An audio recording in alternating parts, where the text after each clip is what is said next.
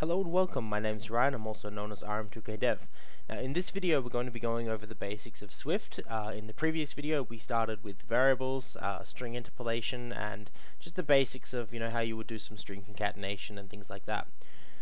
In this video we're going to be doing arrays and probably for loops just to get you guys into the basics of how you would um, store some, some useful data and then loop through that data.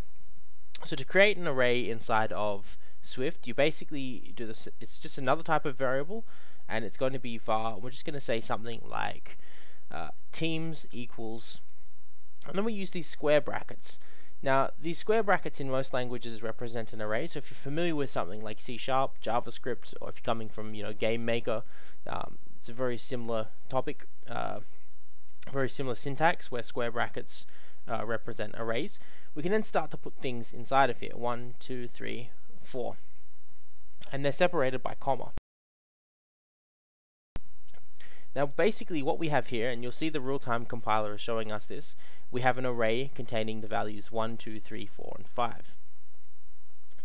Uh, we can then we can index and basically use this data. We can say uh, var team1 equals teams 1 and you'll see in our real-time compiler here that we've successfully plucked out the number one index.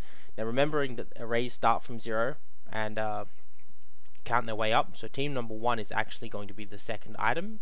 If we were to say team zero, we rename that variable, team zero, you'll see we've successfully plucked out the first item. Now a practical example of something that we could use this for. I've selected teams here so we can actually say, we can give these teams names, so we can say if we're doing something like games, again, we would say heroes. Um, we might say monsters. If this is you know an instance of a multiplayer game, we might say uh, seekers. Another another type of team, the red team and the blue team. We'll just do some basic some basic teams. Now, if we wanted to do some, uh, if we wanted to loop through these, we could then use a you could use a while loop, but we're going to use a for loop. Um, these loops follow standard syntax. I'm just going to say for. Uh, we're going to give a name. So I'm going to say for team in teams. And what this means is the the name team here is going to represent the the team that we're looking at inside of teams. So basically a for loop will count from 0 all the way to the end of the array and each time team is going to represent the value that we're looking at. So if I were to say print ln, that's just a, a C command to print out to the console. And I put team inside of that. And we look at our console, you'll see heroes, monsters, seekers, red and blue. And this is the basics of how we start to use uh, arrays inside of Swift. This, like I said, this does follow practice and follow suit with pretty much every other language or modern language out there. Uh, but this this is the basis of how we would use a for loop and an array. The other kind of for loop we have is your more traditional for var i equals 0. Now I'm just saying i equals 0 because I'm saying i, I'm going to use i for the for shortened version of index. Then we just say, well i is less than say 3. It's going to be our second command and I'm just going to say plus plus i. Now plus plus i basically means we start at 0 while i is less than 3. So this is our condition. So we're starting at 0. So i is 0. While i is less than 3, we're going to execute this chunk of code in here. And then we're going to say i++, plus which then moves our index up to 1. i is still therefore less than 3, so this chunk of code will execute again, and i will be incremented to 2.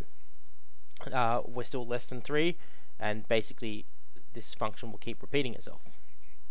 So now we can do the same thing here. We can say print ln, and if I put the word team, oh sorry, teams, because that's our array at the top here, and then the square brackets, and then the number, the letter i, which is basically suggesting that we're now looking into this array at the index of 0 first, so we'll get heroes, then it will be 1, monsters, 2, seekers, 3, red.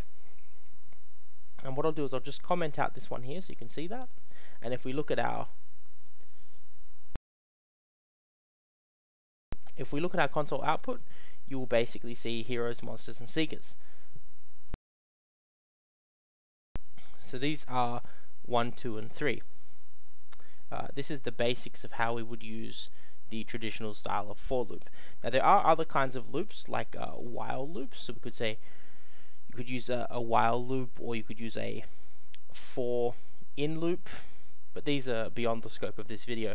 And most commonly you won't you, you probably won't end up using a while loop or a for in loop as most of the time. At least this is what I've found but most of the time uh, when I'm working I usually uh, end up using a for each statement like this or a traditional for statement like this. So once again thank you guys for watching. I hope you liked this video and please subscribe to my YouTube channel. Uh, the next video will most likely be on conditional statements. So that's going to be our if and our switch type of statements and uh, maybe some other types of statements like that. And then we'll be moving on to functions, classes, and basic inheritance. So thank you guys for watching. Uh, don't forget to like the video and subscribe. Thank you. Bye.